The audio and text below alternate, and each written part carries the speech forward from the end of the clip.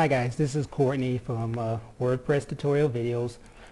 And uh, what we're going to do right now is I'm going to show you guys how to uh, create your icon and how to install it in WordPress with the with the uh, all-in-one um, uh, favicon or favicon however you pronounce it plugin. I think it's favicon.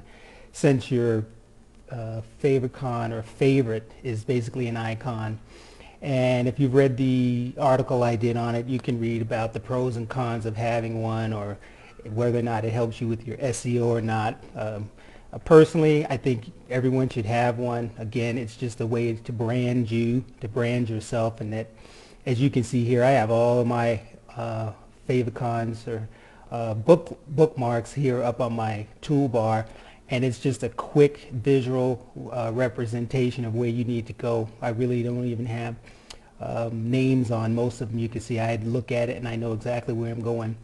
So we're going to show you how to create one using uh, GIMP over here and um, also I'm going to quickly show you how you can go over here and make your own at this website the favicon.cc and over here where you can get free uh, favicons. If you don't want to create, you can find one that fits your particular niche and install that. The plugin we're going to be using is the all-in-one favicon from WordPress. But like I said, we're going to start with uh, our uh, GIMP and creating one. And I'm going to go in here real quick and show you how to do it. So let's just go here to GIMP and we're going to go and create a new. Now as you know, as you may already know, uh, favicons are 16 by 16 pixels. So keeping with that, with those numbers, we could double, triple it. And we're going to go and just do keep one at 256 by 256. So when we size it down, everything's going to be, you know, um, the ratio is going to equal out the right way. So let's go ahead and now we just have a simple box here. What I'm going to do instead of just making a box um, favicon, I want some rounded corners on it. So first thing I'm going to do um, is go over here and I'm just going to add a uh, an alpha channel here and I'm going to make sure that's uh, selected. So I'm going to say uh, I'm going to right click on that and go alpha to selection so I'm selecting this whole area uh, let's go over here and do rounded rectangle and we're going to make it about let's say 35 for the radius. And you can see here we have this nice little area here instead of just having a box. Uh, let's keep that selected and go up here and do a select and invert and just hit delete. So we delete that out and we just end up with a box. Okay now I'm going to go select and I'll go none. Now I'm just going to go again alpha to selection and select just this portion. Okay. And then I'm going to go over here to my gradient tool and for this I'm going to make sure the gradient is on foreground to transparent. That's fine. And I want to change that black to a blue and I'm just going to select the area within here and we're just going to give it a little a little kind of color there okay? So now that we have that done that's fine. We can go ahead and go select none and get rid of that. Let's go to our text tool and I'm going to go with uh, let's go with a red for the our text color. And then let's go over here to our fonts and pick something that's bold. Uh, let's go with this one because we're going to be sizing this down. So nice big letter thick letters is kind of what you want.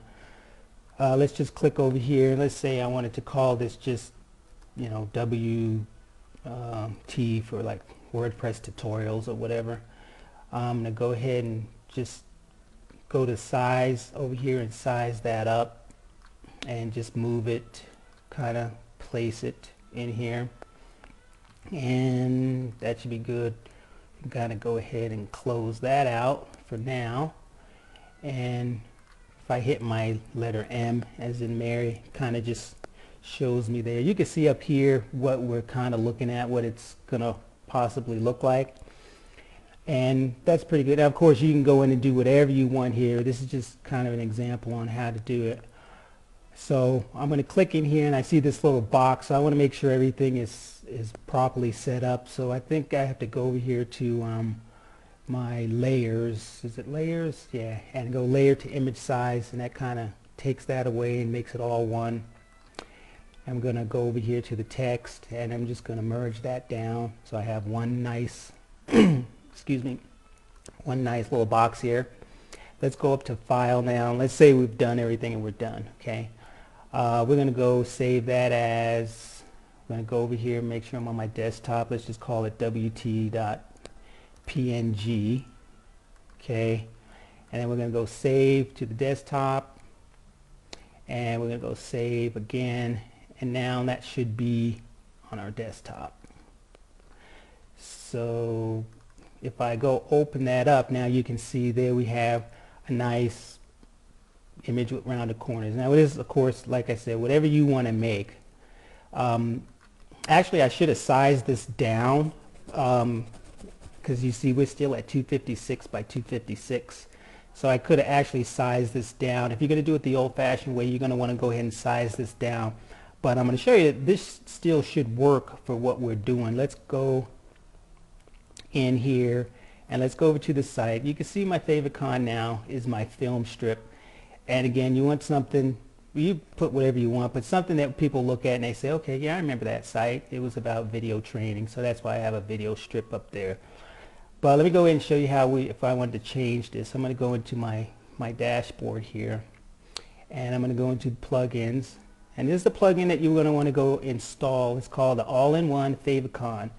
Um, and to do that, you would just go up to Add New when you're in your plugins, and you just put All-in All-in-One Favicon. And when you search for plugins, uh, you should find it.